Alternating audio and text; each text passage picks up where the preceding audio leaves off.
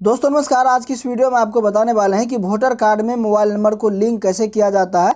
अगर आपके voter card में मोबाइल नंबर लिंक नहीं है तो आप वोटर कार्ड को डाउनलोड नहीं कर सकते हैं।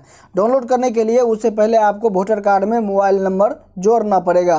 तो कैसे वोटर कार्ड में मोबाइल नंबर को लिंक करते हैं, इस वीडियो में पूरा कंप्लीट प्रोसेस आप जानने वाले हैं। तो सबसे पहले वोटर कार्ड में मोबाइल नंबर को जोड़ने के लिए आपको इस पोर्टल पर आ जाना है। इस पोर्टल का लिंक आपको वीडियो का डिस्क्रिप्शन बॉक्स में मिल जाएगा। तो सबसे पहले यहाँ पे आपको अकाउंट बना लेना है क्रिएट एन अकाउंट पे क्लिक करके।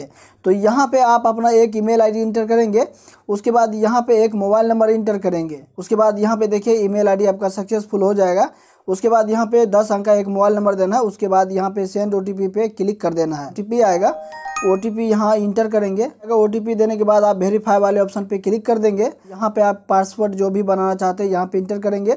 उसके बाद दोबारा पासवर्ड यहाँ पे इंटर करेंगे। उसके बाद यहाँ पे ये मैथमेटिक्स सोल्व करके यहाँ पे आप इंटर कर देंगे। उसके बाद टर्म एंड कंडीशन एक्सेप्ट करेंगे। उसके बाद क्रिएट अकाउंट पे क्लिक कर देंगे।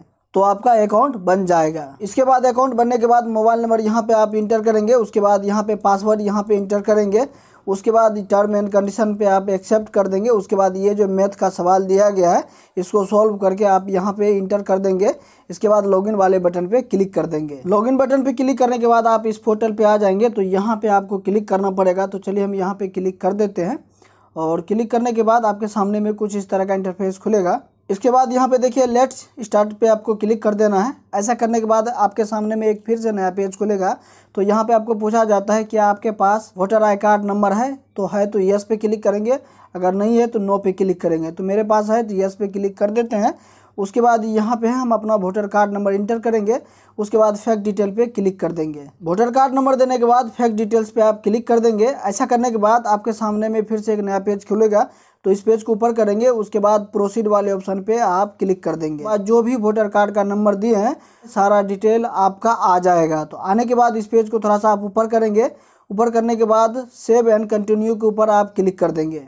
तो आप क्या करेक्शन करवाना चाहते हैं, क्या रीज़न है तो इस वाले ऑप्शन पे आप क्लिक करेंगे, जो कि आप वोटर कार्ड में मोबाइल नंबर अपडेट कराना या लिंक कराना चाहते हैं।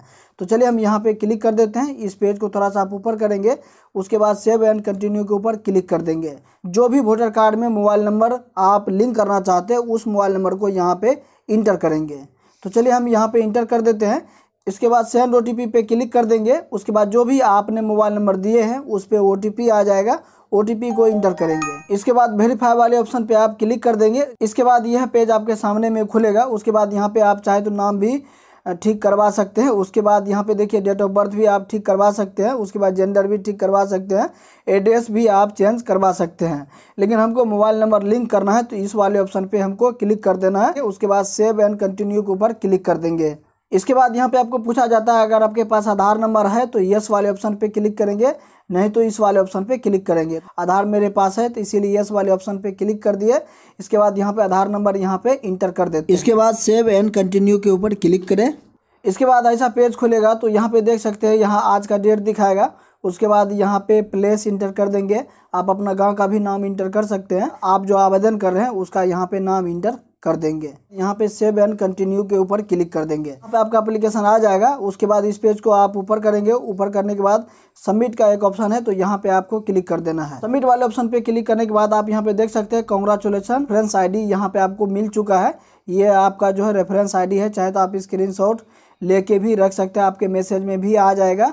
तो यहाँ पे एक हफ़्ते के अंदर में वोटर कार्ड में मोबाइल नंबर अपडेट कर दिया जाएगा। इस प्रोसेस से आप अपने वोटर कार्ड में मोबाइल नंबर को जोड़ सकते हैं लिंक कर सकते हैं।